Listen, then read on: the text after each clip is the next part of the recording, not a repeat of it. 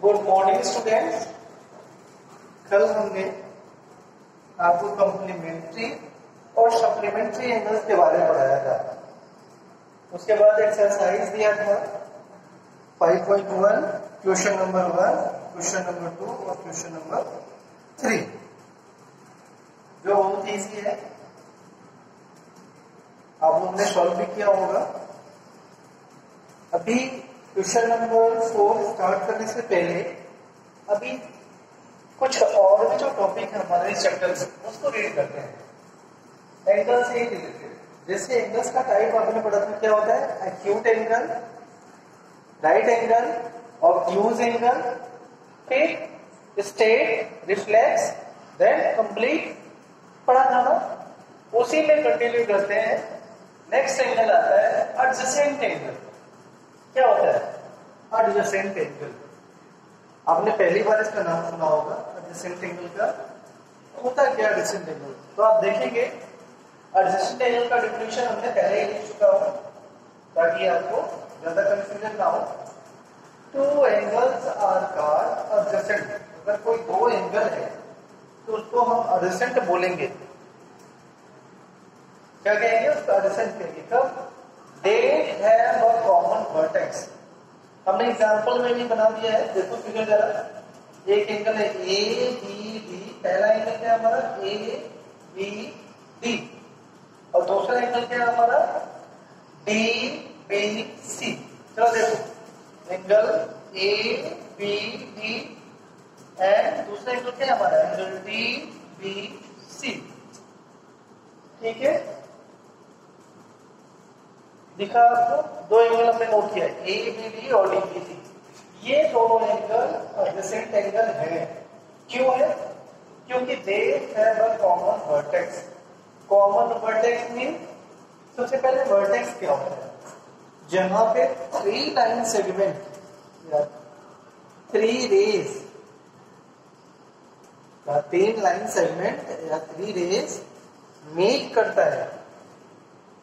क्या बनता है हमारा वर्टेक्स बनता है मीन्स बी अब देखिएगा बी इज़ अ वर्टेक्स और ये कॉमन है. किसमें? ए बी डी में भी आ रहा है और डी बी सी में भी आ रहा है. तो बी और बी दोनों में कॉमन है. That is a common vertex second क्या है? They have a common arm आपको पता है जो एंगल फॉर्म होता है, जो लाइन होती है, उसको क्या बोलते हैं? आर्म बोलते हैं। एंगल में कितने आर्म होते हैं? दो आर्म होते हैं एक आर्मी एक दूसरा आर्मी तो ऐसे ही हैव अ कॉमन आर्म तो आपको कॉमन आर्म दिख रहा है, इसमें क्या है कॉमन आर्म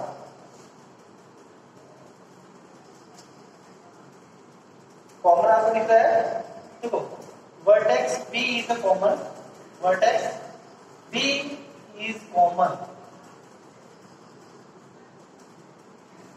common arm क्या है कॉमन आर क्या होगा आप देखो अच्छे से फिगर में। BD is a common arm ये जो बीडी है आर या लाइन सेगमेंट या रे ये दोनों एंगल में आ रहा है। दोनों एंगल को फॉर्म करने में हेल्प कर रहा है। तो BD is a common arm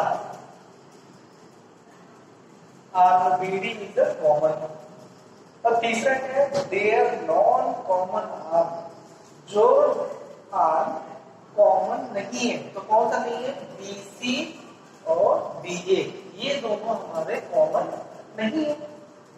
common क्यों नहीं है तो जो कॉमन नहीं है, उसको नॉन कॉमन तो ये हो गया हमारा ए बी है। BC are on opposite sides of the common arm common arm के दोनों साइड्स में अपोजिट में। ये इसके लेफ़्ट में और ये इसके लेफ़्ट में। अपोजिट डायरेक्ट अपोजिट नहीं उल्टे साइड में होगा।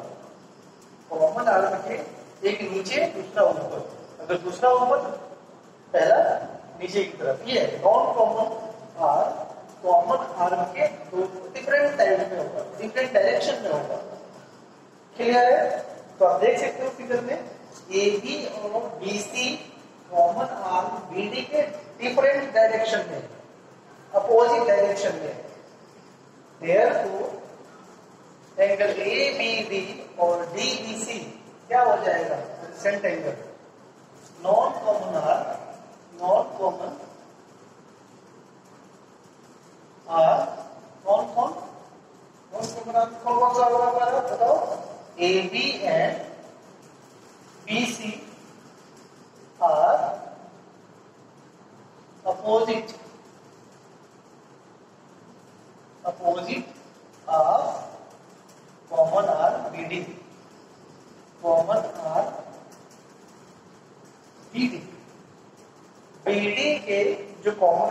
opposite में देयरफॉर जस्ट यही नीचे लिख रहा है, थोड़ा ऊपर यहाँ पे लिखते हैं, ठीक है?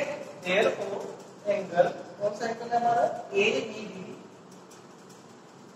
and angle BPC are adjacent angle क्या हो जाएगा हमारा?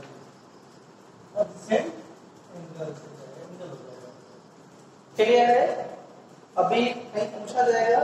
राइट द एडजेसेंट एंगल या फाइंड आउट द एडजेसेंट तो कोई डाउट होगा? नहीं होना चाहिए। सबसे पहले आपको common arm sorry common vertex देखना है। कि कॉमन आर और जो नॉन कॉमन आर है, वो कॉमन आर के डिफरेंट साइड में होना है।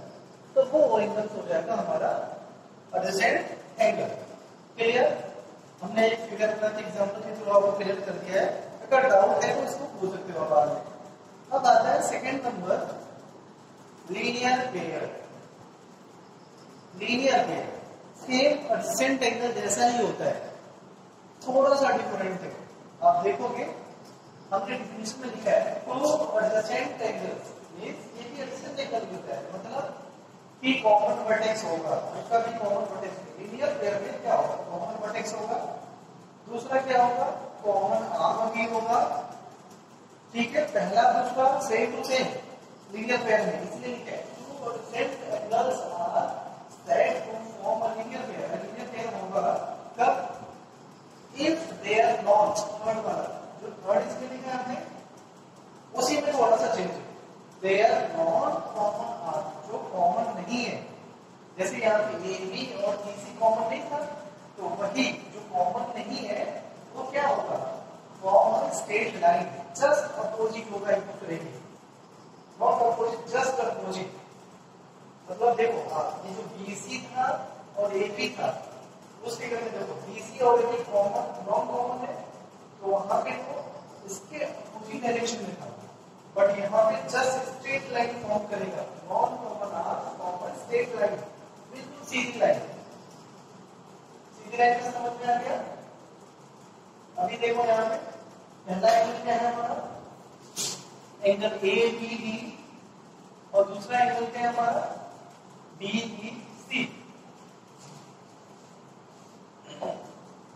या फॉर एग्जांपल फॉर एग्जांपल या फ्रॉम फिगर फॉर एग्जांपल या from figure from figure for figure for example A B D and D B C में देखो आप B is a common vertex D is a common क्या है vertex है ये दोनों में आ रहा है। बी देखो angle angle A D B पहला एंगल दूसरा angle D B C B दोनों में कॉमन आ रहा है कॉमन वर्टेक्स का डिफिनेशन अभी बताया था। जहाँ पे three line segment or three ray meet to each other sorry meet at a point जहाँ पे मिलता है तीन दो नहीं, तीन। तीन जहाँ पे मिलता है, वहाँ पे क्या होता है? वर्टेक्स तो वही है बी देखो यहाँ पे। ये ये वाला यहाँ पे आके मिला, सी वाला इधर आ गया मिला, डी वाला यहाँ पे। तीनों बी पे आके मिल तो बी इज़ द वर्टेक्स और कॉमन है। सेकंड थिंग क्या है हमारा? दे है ना कॉमन आर अभी देखो B D is a common arm B is common क्या है हमारा? आर्म है। कोई डाउट है? नहीं है। अब जो देखो non common arm means A B non common arm A B and BC are non-common. Non-common are are AB और BC non-common are में but ये straight line. They are from they are from they are from a straight line.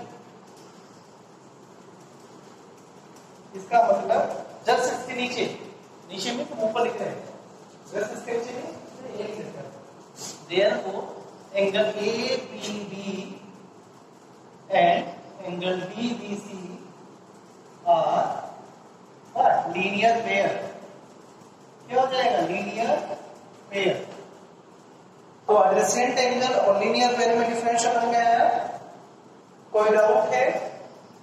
Doubt होने से पूछना है। अब थोड़ा सा लीनियर पेयर की एक प्रॉपर्टी होती है। क्या होती है कि अगर दो angles two angles are linear pair जैसे हमारा A B D A B D D B C जो दो एंगल्स हैं क्या हमारे।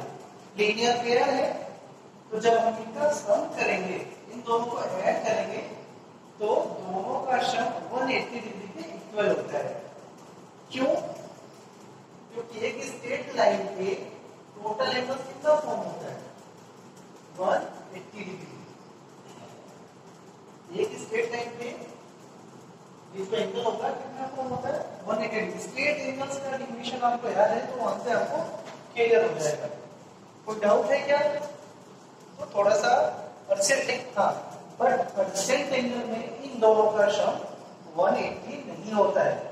अगर आप इसको और इसको means angle A B D और एंगल डी बी सी इस एंगल को ऐड करेंगे तो 180 नहीं होगा। 180 नहीं होगा। लेकिन अगर लीनियर पेयर है तो इस एंगल को और इस एंगल को जब हम ऐड करेंगे तो क्या होगा? 180 डिग्री होगा।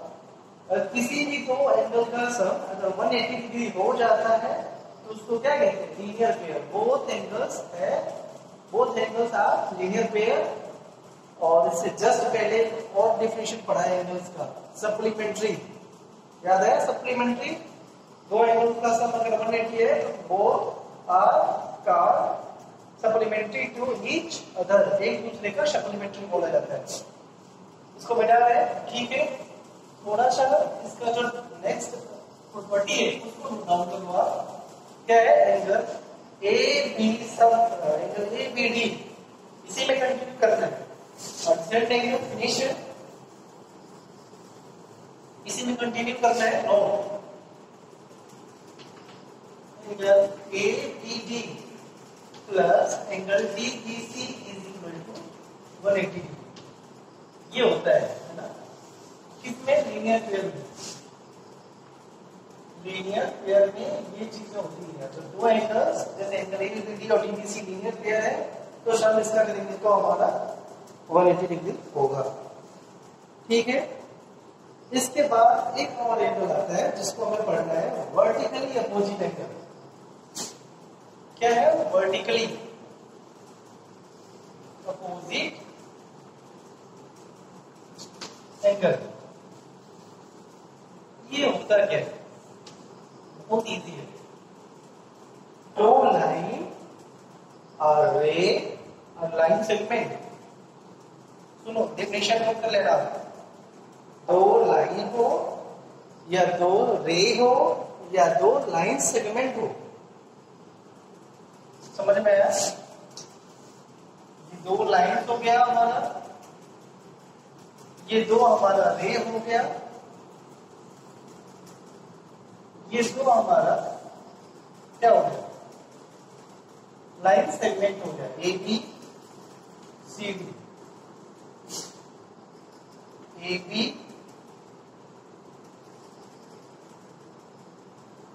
C D A B और सी डी ठीक है? दो रे सॉरी दो लाइन दो रे या दो लाइन सेगमेंट जब एक दूसरे को इंटरसेक्ट करता है, क्या करता है? इंटरसेक्ट कट करता है। जैसे एक लो चल जाए फिगर में। अगर इंटरसेक्ट करता है तो क्या फॉर्म होता है? वर्टिकली अपोजिट एंगल फॉर्म होता है। वर्टिकली अपोजिट एंगल कौन सा होगा? सपोज़ ये मान लिया वो है, ये भी मान लिया वो है। ये जहाँ तक कर रहा है, वो है। ये एंगल और ये एंगल अच्छा देखो एंगल डी ओ बी और एंगल ए ओ सी ये दोनों क्या हो जाएगा? वर्टिकली अपोजिट एंगल होगा। इसका अपोजिट ये है, इसके अपोजिट नहीं है। ये दोनों क्या हो जाएँगे? Vertically opposite angle angle D O B and angle A O C लिख रहे हैं यहाँ थोड़ा सा? एंगल इसको हम इरेज कर रहे हैं ठीक है। Angle angle A O D O C and angle A O C vertically opposite angle है वर्टिकली अपोजिट एंगल है देखिए ना वर्टिकली अपोजिट एंगल और कौन है angle D O A and angle B O C यहाँ पे मैं आर क्या लिखना है यहाँ पे are are vertically opposite angle clear हो अगर दो line line segment right intersect to each other form vertically opposite angle और कौन सा आपका vertically opposite angle D O P और ए ओ सी ये दोनों वर्टिकली अपोजिट एंगल है दूसरा कौन सा होगा डी ओ ए और डी ओ सी ये हो गया वर्टिकली अपोजिट एंगल और साथ में और प्रॉपर्टी होती है। अगर ये इसका वर्टिकली अपोजिट एंगल है। ये क्या होता है? D C is equal to angle A C ये प्रॉपर्टी होता है। वर्टिकली अपोजिट एंगल आपस में क्या होते हैं? इक्वल होते हैं। समझ में आया? वर्टिकली अपोजिट एंगल आपस में क्या होते हैं? इक्वल होते हैं। अभी आपको इतना ही पढ़ना है। आपको बस इतना याद रखना है कि vertically opposite angles are equal इसको हम अगली क्लास में जब आप आओगे, अगली क्लास में मीन्स नाइन्थ में मिली एट में नहीं नाइन्थ में।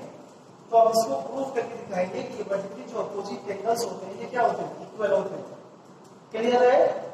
तो ये था आज आपका एडसेंट एंगल लीनियर पेयर और तीसरा vertically opposite angle vertically opposite angle समझ में आया? क्या क्या है ये दोनों आपस में इक्वल होते हैं। ये इसके इक्वल होगा और ये एंगल इसके इक्वल होगा। से सब में ऐसे ही होगा।